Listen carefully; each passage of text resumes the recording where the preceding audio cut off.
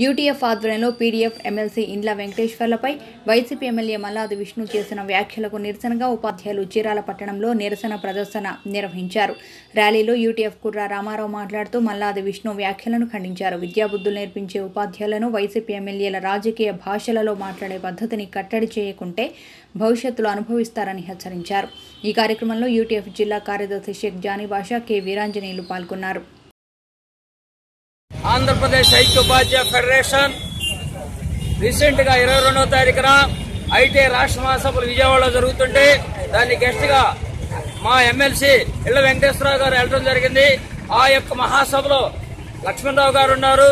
అయితే మల్లాది విష్ణు గారు మన ఇండ్ల వెంకటేశ్వరరావు గారు ఏం చెప్పారంటే మాకు రావాల్సిన బీఆర్సీ గానీ డిఏరియల్స్ గానీ లేదా సిపిఎస్ రద్దు గానీ ఇలాంటి సమస్యలని గౌరవ ముఖ్యమంత్రి గారు పరిష్కరించాలి తొందరగా అని ఎండ వెంకటేశ్వరరావు గారు ఆ యొక్క సదస్సులో ప్రసంగించడం జరిగింది. దానికి ఎమ్మెల్యే మల్లాది గారు ఇష్టం వచ్చినట్టు ఆయన ఒక రాష్ట్ర నాయకుడు సుమారుగా నలభై సంవత్సరాలు ఐక్యోపాధ్యాయ ఫెడరేషన్ రాష్ట్ర అధ్యక్షుడిగా రాష్ట్ర ప్రధాని గారి గారు చేసిన మహోన్నత వ్యక్తిని అసలు ఎమ్మెల్సీలు అంటేనే త్యాగంతో నిలబడి రామిరెడ్డి గారు గాని ఎమ్మెల్సీ ఇటం బాలసుబ్రహ్మణ్యం గారు కానీ మన మా ఎమ్మెల్సీలందరూ కూడా ఒక్క రూపాయి తీసుకోకుండా వాళ్ళ జీవితాన్ని పణంగా పెట్టి గౌరవ ఎమ్మెల్సీలని ఆయన మల్లాది విష్ణు గారు ఇష్టం వచ్చినట్టు తన పదజాలంతో అసభ్యకరమైన పదమాటలు మాట్లాడారు. నాన్ సెన్స్ స్టూపిడ్ అవి మాకు రావా విద్యావేత్తలు మహోన్నత వ్యక్తులు ఏదైనా మాట్లాడగారు అయితే అక్కడ ఒక సభ ఉంది.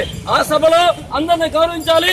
ఏ ఎమ్మెల్యేనా ఏ ఎమ్మెల్సీనా అందరినీ గౌరవించాలి ప్రజలను గౌరవించాలి సమాజాన్ని గౌరవించాలి. ఇది ఇష్టం వచ్చినట్టు మాట్లాడితే ప్రజలు ఊరుకుంటారా? ప్రభుత్వం గౌరవ ముఖ్యమంత్రి గారు మరి ఎమ్మెల్యే ఆయన పిలిపించి క్షమాపణ చెప్పించవలసిందిగా ఐక్య ఫెడరేషన్ కోరుకుంటుంది.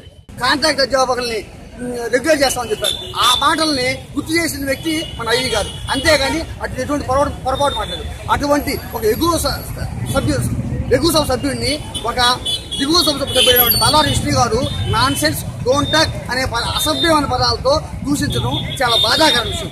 ఒక విద్యావేత్త అయినటువంటి గ్రాడ్యుయేట్ ఎమ్మెల్సీ అయినటువంటి ఐవి గారు ఎక్కడా నోరు తాలేదు దాదాపు నలభై సంవత్సరాల ఉపాధ్యాయ ఉద్యమ చరిత్రలో అతనికి ఎటువంటి మచ్చలేదు అటువంటి వ్యక్తిని దాదాపు అరవై వేల ఓట్లలో గెలిచిన వ్యక్తిని ఈయన నాన్ సెన్స్ డోంటాక్ అని అసభ్య పదాలతో దూషించడం చాలా బాధాకర విషయం. అదేమంటే ఇంకో మాట చెబుతున్నాడు. మీరు వేరే మీటింగ్లో చెప్పుకోవాలన్నారు. అసలు ఏ మీటింగ్లో చెప్పుకోవాలి?